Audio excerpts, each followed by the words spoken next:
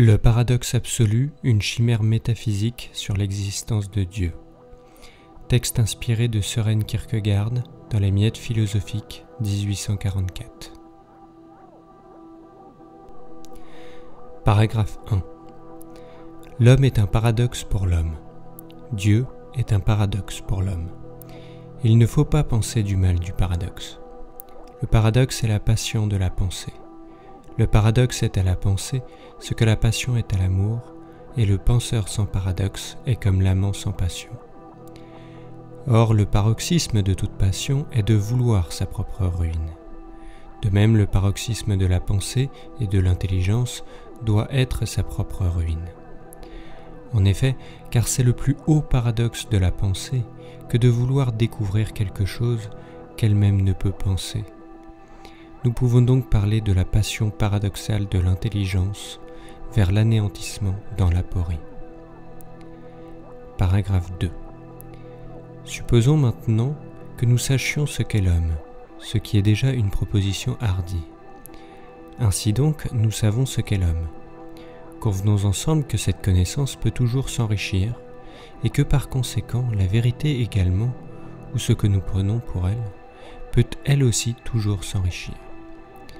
Alors ici, la passion paradoxale de l'intelligence s'éveille et veut donc sa propre perte en voulant un scandale et sans bien se comprendre elle-même.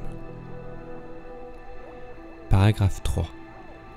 Celui qui aime est transformé par le paradoxe de l'amour, en sorte qu'il ne se connaît plus lui-même pour ainsi dire. Et bien de même, ce paradoxe pressenti de l'intelligence réagit sur l'homme et sur sa connaissance de soi, en sorte que cet homme qui croyait se connaître ne le sait plus maintenant avec certitude, et notons bien qu'il en jouit. Paragraphe 4.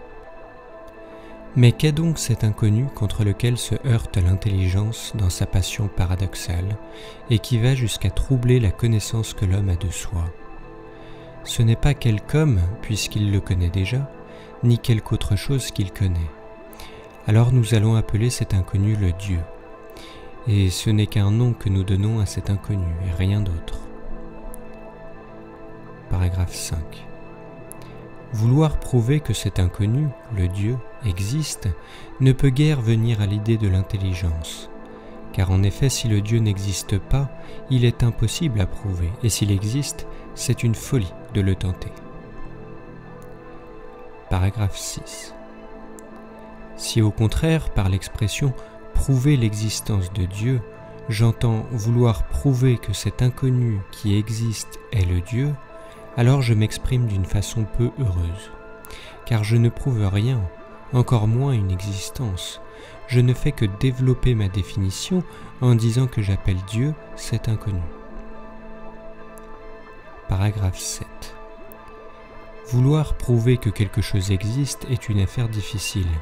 Toute la conduite de la preuve se transforme toujours en un développement additionnel de la conclusion tiré d'avoir admis que ce qui était en question existe. Ainsi, la conclusion n'aboutit jamais à l'existence, mais elle en vient. L'existence en elle-même ne pourra jamais être prouvée. Paragraphe 8. Ainsi, je ne prouve pas qu'une pierre existe, mais que cette chose qui existe est une pierre. Le tribunal ne prouve pas qu'il existe un criminel, mais que l'accusé qui évidemment existe est un criminel. Paragraphe 9. Je ne peux pas prouver l'existence de Napoléon par ses actes, car sans doute son existence explique ses actes, mais ses actes ne prouvent nullement son existence, étant donné qu'entre lui et ses actions n'existe aucun rapport absolu, en sorte qu'un autre homme aurait pu aussi accomplir les mêmes actions. Sans rapport absolu, je ne peux donc pas conclure à l'existence à partir d'actes. Paragraphe 10. Pourtant, entre Dieu et ses actes, il y a un rapport absolu. Dieu n'est pas un nom, mais un concept. Peut-être est-ce pour cette raison que son essence implique l'existence. Essentia involvit existentiam. Ainsi, les actes de Dieu, Dieu seul peut les faire. Alors, quels sont les actes de Dieu? Paragraphe 11. Des actes immédiats d'où je veux prouver son existence, il n'y en a absolument pas. Non, dans tel ordre des choses, je ne tirerai pas la preuve de Dieu. Même si je m'y mettais, je ne pourrais jamais en finir.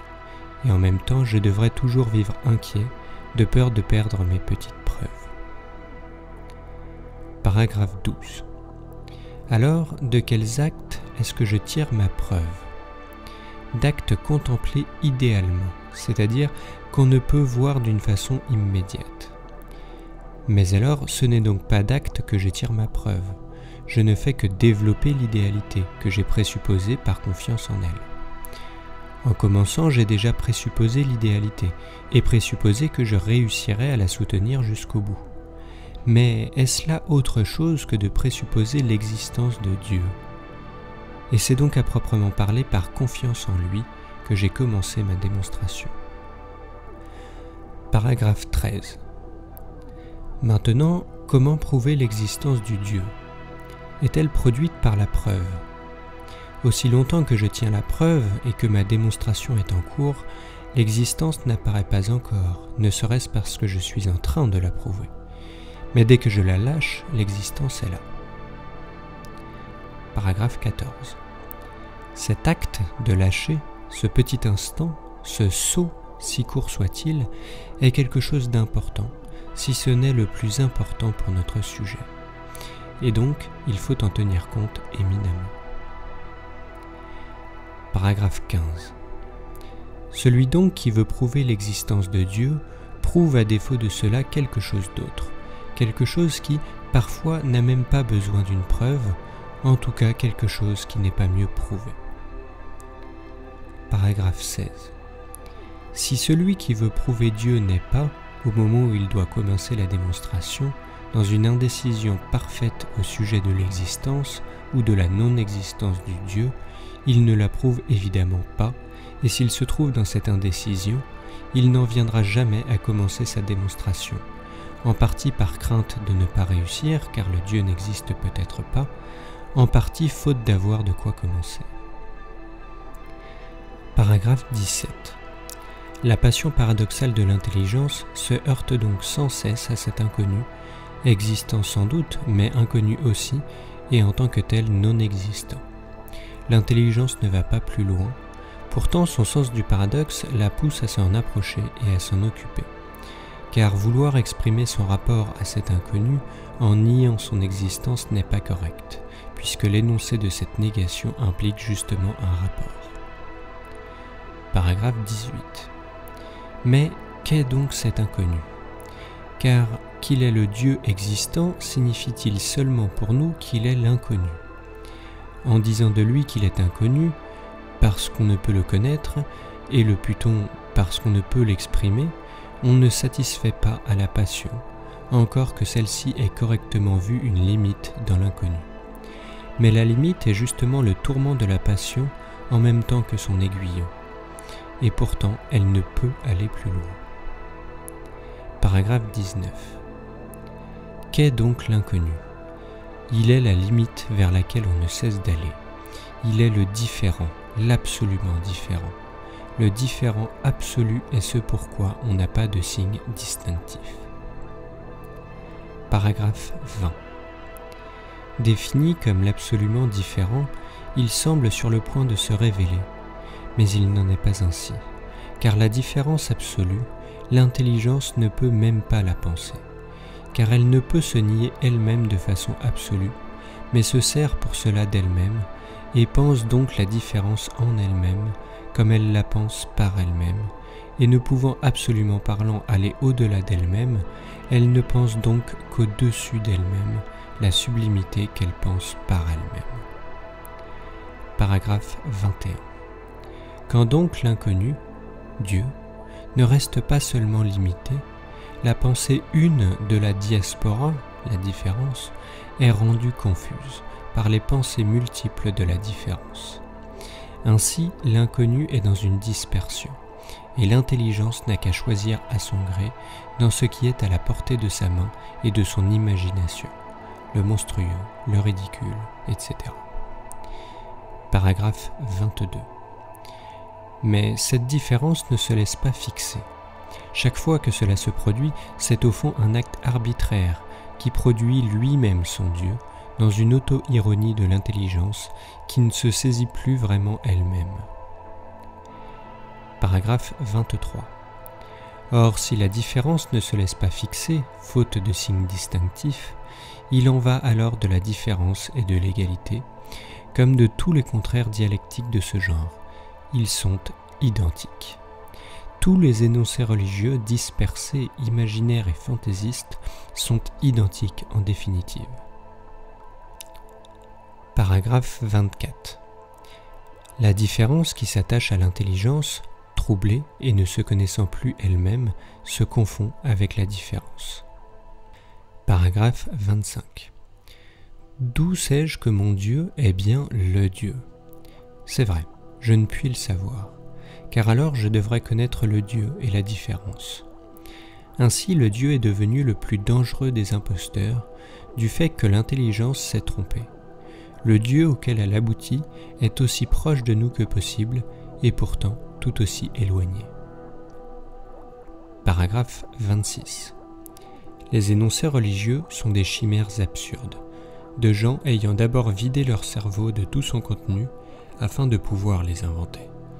Mais bien sûr, c'est bien cela qu'il te faut faire. L'intelligence, en définissant l'inconnu comme le différent, finit par s'égarer et confond la différence avec la similitude. Paragraphe 27. L'homme, si tant est qu'il puisse savoir quelque chose de vrai sur l'inconnu, le Dieu, doit d'abord savoir qu'il est différent de lui, absolument différent de lui.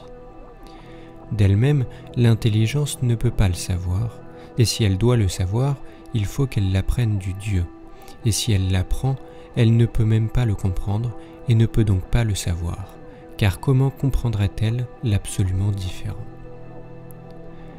Paragraphe 28. Si le Dieu est absolument différent de l'homme, l'homme est absolument différent du Dieu. Mais comment l'intelligence le comprendrait-elle? Ici, semble-t-il, nous sommes devant un paradoxe. Rien que pour savoir que le Dieu est le différent, l'homme a besoin du Dieu. Et il apprend maintenant que le Dieu est absolument différent de lui. Mais si le Dieu est absolument différent de lui, ceci ne peut avoir sa raison dans ce que l'homme doit au Dieu, car sous ce rapport il lui est évidemment apparenté mais dans ce qu'il se doit à lui-même ou dans ce dont il s'est rendu coupable, c'est-à-dire le regret. Paragraphe 29. En quoi consiste la différence? Oui, en quoi d'autre que le péché, puisque la différence, l'absolue différence, c'est l'homme lui-même qui doit s'en être rendu coupable. C'est ce que nous exprimions plus haut, en disant que l'homme était la non-vérité, et l'était par sa propre faute, et que ce serait trop demander de l'homme qu'il le découvrit par lui-même. Paragraphe 30. Voici maintenant que nous avons retrouvé la même chose. Le connaisseur d'hommes fut presque désemparé, et il ne savait pour ainsi dire plus s'il était un monstre ou s'il y avait en lui quelque chose de divin. Que lui manquait-il donc? La conscience du péché qu'il était aussi incapable d'enseigner à un autre homme que de l'apprendre de lui, que Dieu seul pourrait enseigner. Mais justement, il le voulait, et pour l'être, pour être capable de l'apprendre, il voulait s'égaler à l'individu pour que celui-ci puisse tout à fait le comprendre. Ainsi le paradoxe devient encore plus terrible. Ou disons-nous que le même paradoxe a cette double nature par quoi il se montre absolu négative par la mise en relief de l'absolue différence du péché, positive par sa prétention d'abolir cette absolue différence dans l'égalité absolue. Paragraphe 31. Maintenant, un tel paradoxe se laisse-t-il penser L'intelligence sans doute ne le pense pas. Elle ne peut même pas en avoir l'idée. Et quand le paradoxe est annoncé, elle ne peut le comprendre, et remarque seulement qu'il pourrait bien être sa perte. Paragraphe 32. À ce titre, l'intelligence a beaucoup à lui objecter, et pourtant d'un autre côté, elle veut par là sa propre perte. Mais cette déchéance de l'intelligence est aussi ce que veut le paradoxe. Et ainsi ils sont tout de même d'accord, et cette entente n'existe qu'à l'instant de la passion. Paragraphe 33. Dans le rapport de l'amour, bien qu'il ne soit qu'une image imparfaite, l'amour de soi est à la base de tout amour. Mais sa passion paradoxale veut justement sa propre perte quand elle atteint son paroxysme. C'est ce que veut aussi l'amour pour autrui, et ces deux puissances s'entendent ainsi dans la passion de l'instant. Et cette passion est justement l'amour. Ainsi en est-il de la passion de l'amour. L'égoïsme y sombre sans doute. Il n'est pas toutefois anéanti, mais fait prisonnier, et constitue les spolia opima, les butins abondants de l'amour. Mais il peut revenir à la vie, et nous avons alors l'épreuve de l'amour. Ainsi en est-il aussi avec le rapport du paradoxe à l'intelligence, avec cette différence que la passion en question a un autre nom, ou plutôt, il nous reste à essayer de lui en trouver un.